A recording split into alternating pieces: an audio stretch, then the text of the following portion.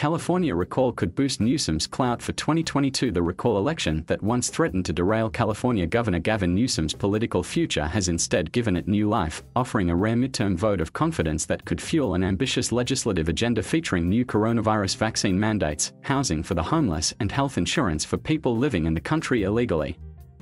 Nearly 64% of voters in the recall election voted to keep Newsom in office, according to early returns, giving him a larger margin of victory so far compared to his 2018 election. On Wednesday, one day after surviving the recall that a few months ago had him sweating, Newsom indicated he planned to go even bigger in 2022 as he heads into his re election campaign.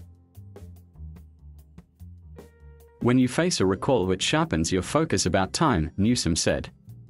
Things that you may have looked at on the horizon and said, you know, over the next two, three years, we want to get this done, you start looking very differently and say, what's possible in the next two to three months? Newsom was not afraid to take big swings in his first term, often eschewing the moderate tendencies of some of his predecessors. While he hasn't always satisfied the most liberal wing of the Democratic Party, he has relished governing what he calls a nation state, given its status as the nation's most populous. In his first three years in office, Newsom signed legislation that allowed college athletes to get paid, gave free lunch to every public school student, and issued executive orders aiming to ban the sale of new gas powered cars by 2035 and end all oil extraction in the state by 2045. This year, he has already issued orders requiring all of the state's roughly 2.2 million healthcare workers to get vaccinated to keep their jobs.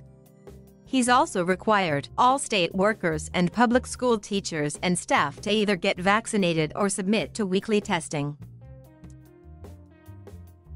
President Joe Biden has already ordered large employers to require their workers be vaccinated.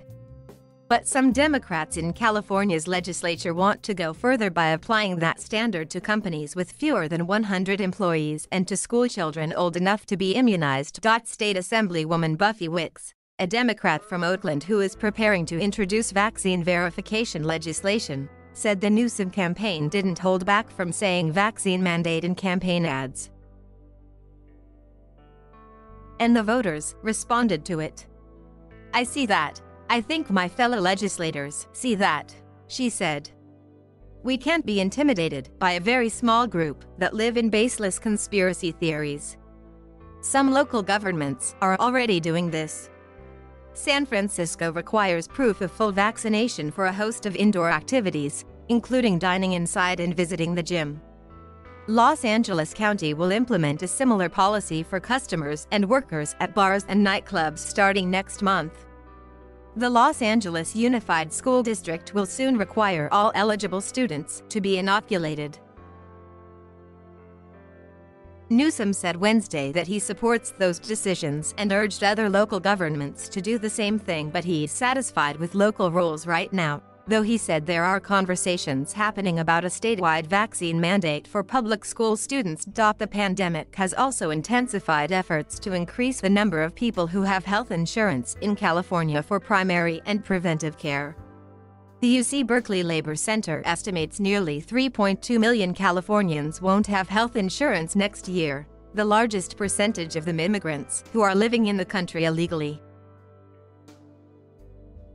Newsom's budget this year offers government funded health insurance to low income adults 50 and over who are living in the country illegally, but some Democrats want him to expand coverage to all low income adults. Regardless of their immigration status, I believe this year was a significant down payment for us to work toward universal coverage, said Assemblyman Joaquin Arambula, a Democrat from Fresno who chairs the budget subcommittee that oversees health care spending. Newsom indicated Wednesday that he plans to renew his focus on housing the homeless. He devoted his entire 2020 State of the State address to that issue, but the pandemic soon hit and quickly shifted his focus to public health. Still, Newsom pointed to his administration getting 6,000 housing units for the homeless online in only five and a half months, a remarkable pace made possible by the urgency of the pandemic. He added, That's now focused my energy to say what more can we do in that space with that same sense of urgency on climate change, on issues of affordability of housing. Advancing those issues will require reaching consensus among Democrats who dominate the state legislature, a task that's not as easy as California's progressive reputation would suggest. But Michael Bustamante, a Democratic consultant who worked for former Democratic Governor Gray Davis during the recall campaign that led to his 2003 ouster, said Newsom should not hold back.